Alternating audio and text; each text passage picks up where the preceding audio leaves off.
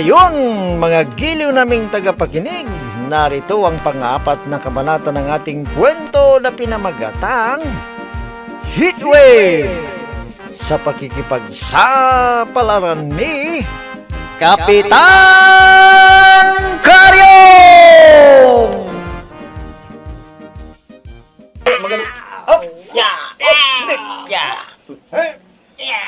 Ah, mu- ku- kuwan na. Nasaan na yung uh, quotes mo sa US, UFC, pare? Eh, nagpapahinga sandali. Oh, Tuturuan niya ako ngayon ng ibang estilo, pare. Ni-atake. a- a- ako rin, pare. Oo. Nire-review ko lang ang galaw ni at uh, estilo ng uh, isipse. Alam mo, pare, hindi sa pagyayabang eh. Kasali ako doon sa samaan ng Pilipino isipse. Eh, hindi mo na itatanong, pare. The first national uh, organization for ISIPSI is the National ISIPSI Association of the Philippines. Kasama ako, pare. Hindi nila alam yan na hindi ako mayabang. Ha, matibay ka pala, pare. Oo. At alam mo din ba, pare? Ah, Hindi sa pagmamayabang din, ano? Ah. Nakalaro ko na si Edward Landslide Pulayan. Oo. Oh, eh, nako, bilib na bilib sa akin yun. Noon, si Honorario Darak. Na Banario. Oo, ganun ba, pare? Oh, kilala mo bang mayan? Mas mayabang ka pala. Ay, este. Ay. Ang ibig ko nga sabihin, eh, mas magaling ka. Ah, ay, oo naman, pare. Ah, kilala mo si Mark, uh, di ba? At si Eric, the natural kele. Naka, bilib na bilib din sa akin yun. Dahil mabilis na ako. Ah, Oo. tingnan mo, pare, ha? Kung gaano ko kalakas sumipa. Tingnan mo, ang bilis ko, pare. Oops! Ah, ah, ba, pare. Kita mo na. Ti- Tinamaan mo ang itlog ko, aray. Patay. Aray. Nabasag ko yata ang itlog mo, pare. Napisa ba? Ah, ah, ah, iisugod mo ako sa ospital. Ipa-opera mo ang itlog ko. Lako, napaka-nervyos mo naman, pare. Binibiro lang kita eh. eh medya-medya lang yan eh. Ha? Oo. Hindi ko nilakasan, medya lang yun. Ganun ba, Oo. pare? Nako, ki- kinakabahan ako.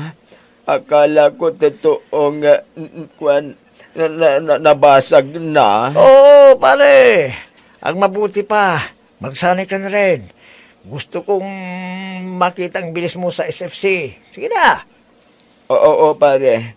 Ah, sandali, tatawagin ko yung coach ko ah, para ipakita ko naman sa iyo ang husay ko sa oh, sige. Isla Peace Champion. ah. Ay, Ide! Aha. Halika nga, practice tayo.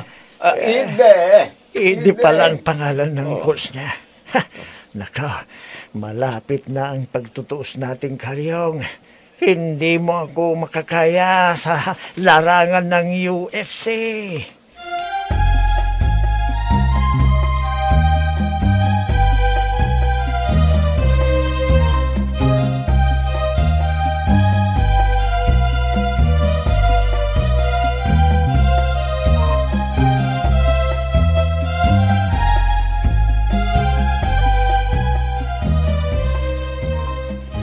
Yan ang sinabi sa akin nila Kagawad Asyong at Kagawad Adongkap.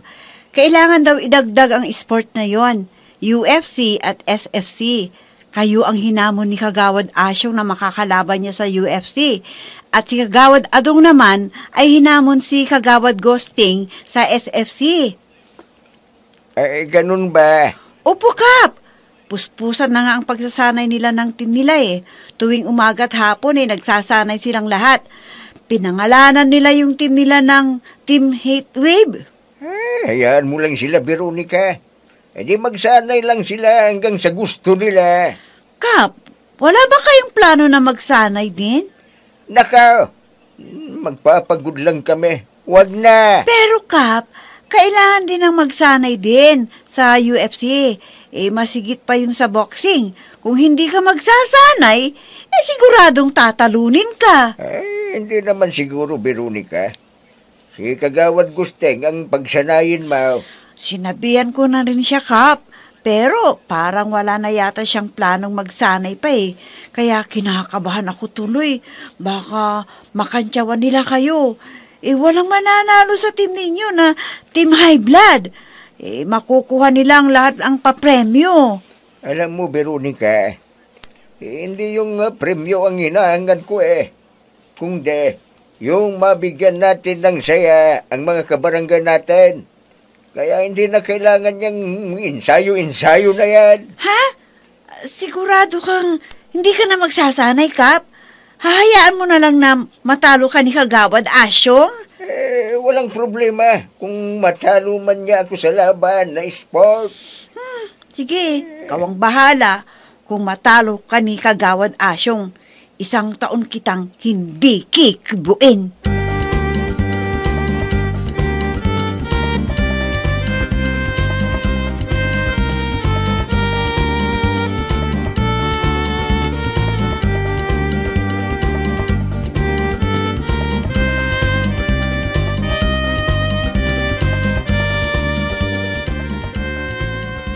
Ay, nako, Pining. Bukas na, umpisa ng ibang laro. Oh, nakahanda na ba ang maglalaro sa team ni Kapitan? Ewan ko ba? Parang paisi-isi lang si Kapitan eh. Parang hindi interesado sa premyo. Ano? Hahayaan lang ba niya? Ha? Sila kagawad Adong at kagawad Asyong na magbawagi?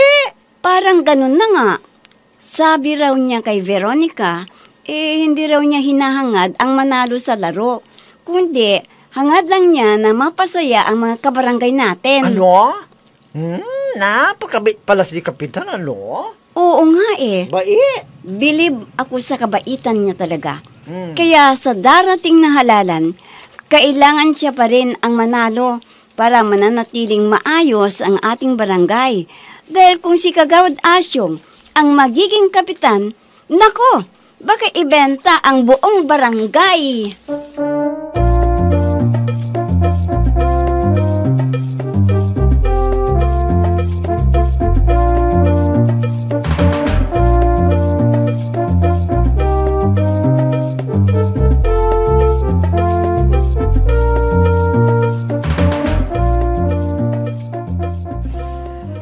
Tama yung sinabi ng ibang kabarangay natin na dapat na susunod na barangay eleksyon, si Kapitan Karyong pa rin ang manalo. Dapat lang.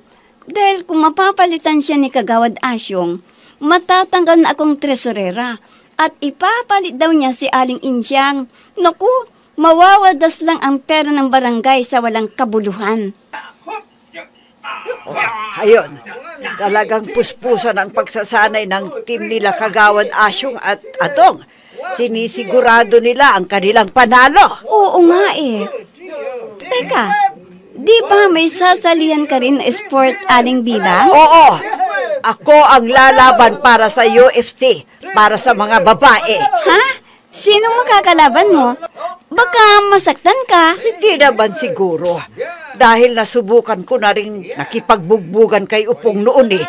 Alam mo na ba kung sino ang makakalaban mo sa UFC na pambabae? Oo naman, si Selly na anak ni Dandoy. Ha? Di ba mongoloid yun?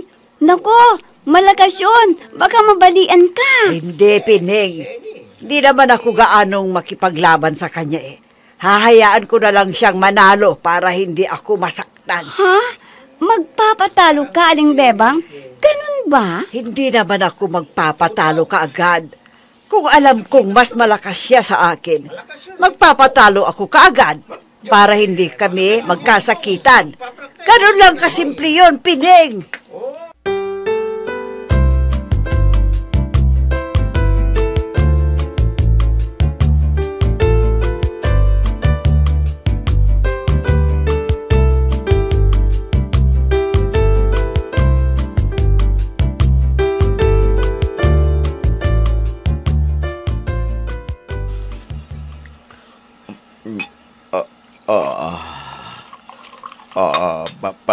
Pare. Pare, bukas nang umpisa ng uh, sagupaan ng uh, Team Heatwave at Team High Blood. Nako. Oo, pare. Ah, Parang nakikita ko na ang mangyayari. oo. Makukuha nating lahat ang premya. Ah, ah, ah. Ang Ah. unang uh, laro bukas ay sumo. Maglalaban na si Boy, si Buyas at si Ambreng. Ah, oo, pare. Kondisyon na kondisyon na si Boy. Ha, magaling yung nakuha nating trainer at coach natin eh. Oo, pare. Oh. Napakagaling eh, sa ano sa sa maikling panahon eh, eh napakalakas ni Boy na tumulak. Tignan na mo yung uh, pinagsanayan niyang saging ni Kanuto. Nako, ah, natumba lahat. Oo. Kaya handang-handa na siya. At kung ano ang nangyari sa sagay, ganun din ang mangyayari kay Ambreng. Oo, oo, oo, oo, na, na, na, nako. Ah, ba- baka ma- magaling din ng uh, coach ni Ambreng at uh, matatalo niya si Boy. Nako, hindi sila nag-hire ng trainer. Si Kapitan Karyong ang nakita ko na nagtuturo sa kanya kahapon. Ano, si Karyo nga... Anong alam ni Karyo nga na yon na sa sumo? Mga bobo, wala silang kalaban-laban sa ah, Team Hitweb. ah. Mabuhay ang Team ah. Mabuhay! Nako. Oh. At tulad ng sinabi ko sa iyo, hahakutin natin lahat ang premyo. Wala tayong ititira sa kanila. Ah, pare. Oo. Oh, pakitawag mo nga si Boy at gusto ko siyang subukan kung gaano siya kalakas o kagaling. Ah, sige, pare. Sandali lang nga. Psst! Ah, bo- boy sibuyas. ah. Halika nga rito. Bilisan mo. Bakit Oo. oh, gawat atong... Ah, May sasabihin si Kagawad Asyong sa'yo. Ma- ka- Kagawad, oh, ah, pare, pare Asyong, nandito Ba? na si Boy. Gawat Asyong, anong sasabihin mo sa akin? ay, talaga bang kondisyon na kondisyon kang makipagbakbakan kay Ambring bukas? Oo naman, kagawad. Handang-handa na ako. Sige. Ah, gusto kong masubukan ang galing mo. Pakibuhat at pakihagis nga si Pare Adong. Ah, ah, ah. Titingnan ko kung kaya ba. Ba, pare naman, bakit ako ang ipapabuhat at ipapagis mo? Ay, uwag naman, pare. O, huwag. Ah,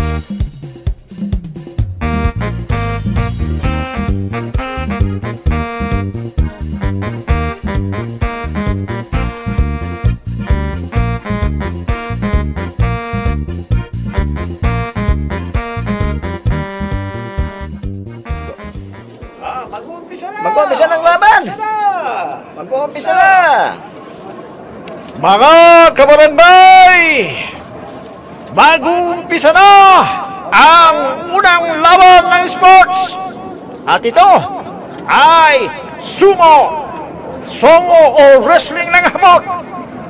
Mula sa Team Hablad, ipinakikilala ko si Ambring Digaling. At mula naman sa Team Heatwave, nakikilala ko sa inyo si Boy Sibuyas!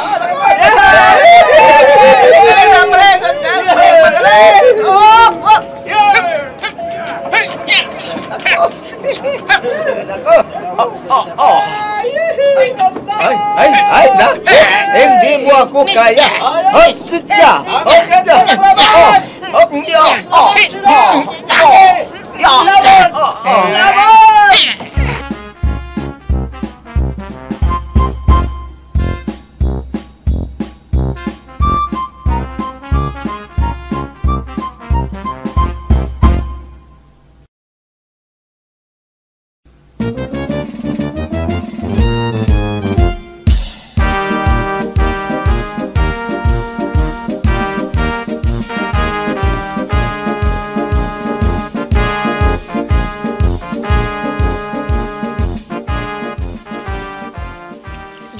Veronica, hindi ka nanood ng Somo? Ang ganda ng laban nila Boy Sibuyas at Ambring. Ha? Bakit pa ako manunood? Eh, siguradong talo naman ang team ni Kapitan. Anong talo na sinasabi mo? Panalo si Ambring. Nako, hinimatay si Boy Sibuyas sa sobrang pagod. Ano? Kung ganun, nakachamba si Ambring? Hindi nakachamba. Talagang magaling pala siya sa wrestling ng hapon o sumo. Ha? Eh, pa- paano nangyari yun?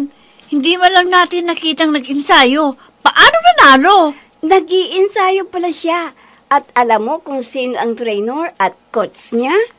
Sino? Sino pa? Di sila Pasing at Benito. Ano? Wow, ang galing! Ah, anong reaksyon nila kagawad Asyong at kagawad Adong nang matalo ang manok nila? Wala. Nang unang, kantyaw na silang kantyaw. Lalo nang kamuntik nang maitulak si Ambring sa labas ng bilog. Naku, tumalon lahat ang mga kakampi nila. Pero nang matalo siya, naku, halos atakihin din sa pagkatismaya si Kagawad Asyong. Ganon ba? Teka, di ba may laban din si Benito? Ano na nga bang sports yun? Pabilisang kumain at uminom ng ano-ano. At hayon, nakahanda na rin siya. Eh, sino naman makakalaban ni Benito sa Team Heatwave? Si Intoy na anak ni Mang Insyong. Ano? Nako! Delikado si Benito! Ang laking katawan ng lalaking yun. Napakatakaw. Baka isang subo lang sa nakahandang pagkain, tapos na. Ewan lang natin kung ano ang mangyayari sa laban nila mamayang gabi. O sige, magpahinga na tayo, Pining. Para maaga na naman tayong pupunta dito bukas.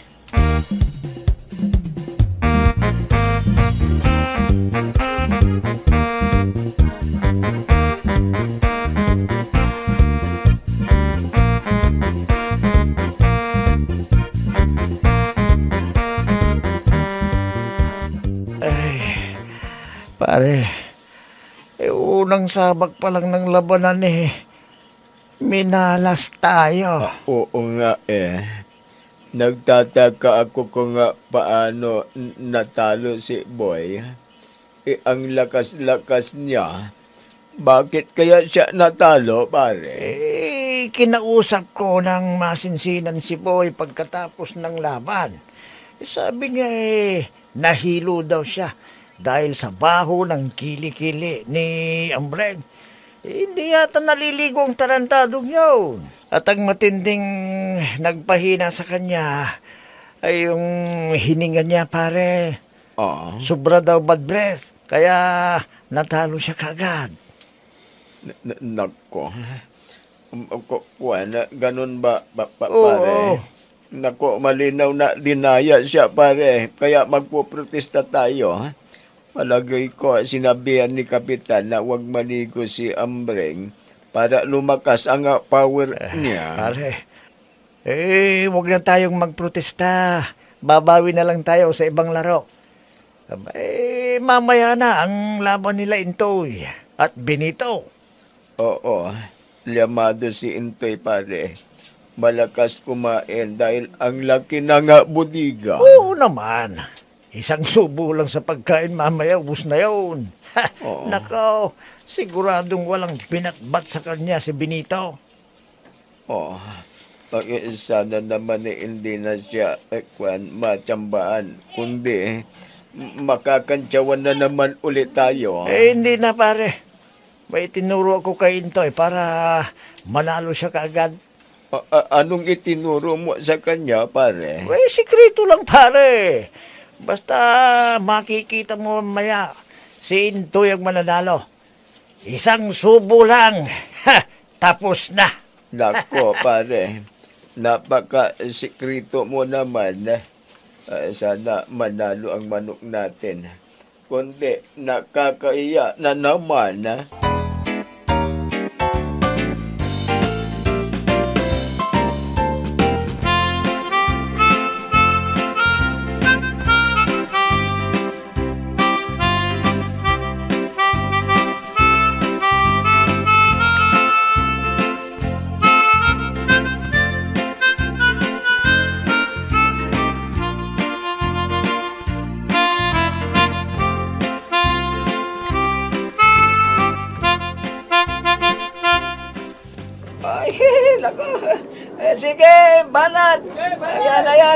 Ang ganda ng laban na ito. Veronica, Sila. nag-umpisa pala ang laban nila Benito at Intoy. Nako, ang daming taong nanunood at nagpupustahan pa sila. Oo nga eh. Naku, delikado na naman ang manok natin. Sigurado mananalo na ang intoy na yan. Ang laki-laki ng tiyan niya, oh. Ha? Veronica, tapos na yata ang laban. Oo nga, nagsisigawan na sila. Sino kayang nanalo? Halika, Veronica. Lumapit tayo. Tignan natin kung sino ang nanalo. Halika, bilisan mo. Halika. Ha?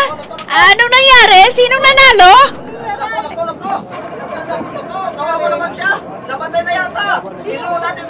Ha? Bakit? Anong nangyari? Sinong nanalo? Ha? Pining! Tingnan mo! Tingnan mo! Ha? Hindi totoo ito! Hindi!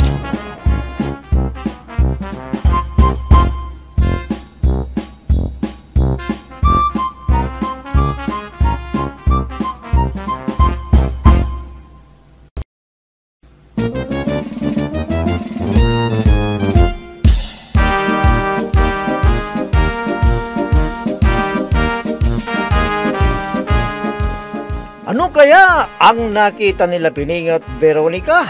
Mga giliw naming tagapakinig, abangan ang susunod na kamanata ng ating kwento na pinamagatang Heatwave sa pakikipagsapalaran ni Kapitan Karyong!